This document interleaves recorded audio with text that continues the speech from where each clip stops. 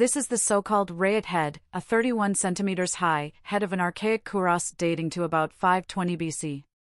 It is made of Parian marble and was found in the early 1870s in Athens, near the Kerameikos, which means that it originally most likely belonged to a funerary statue.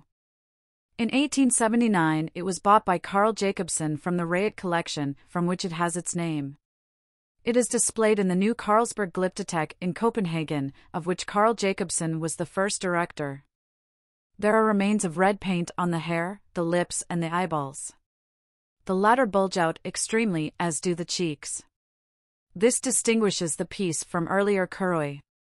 The mouth shows the characteristic archaic smile.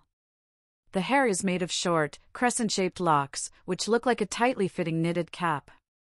If you look at the head from the side, you see that the ears are rendered unusually fleshy. They are clearly meant to represent cauliflower ears. This condition of a swollen external ear is a result of continuous blunt trauma. This leads to the suggestion that the piece represents the head of a martial arts fighter, for example in pankration, which roughly can be compared to today's mixed martial arts. Sometimes, such fighters also have cauliflower ears nowadays.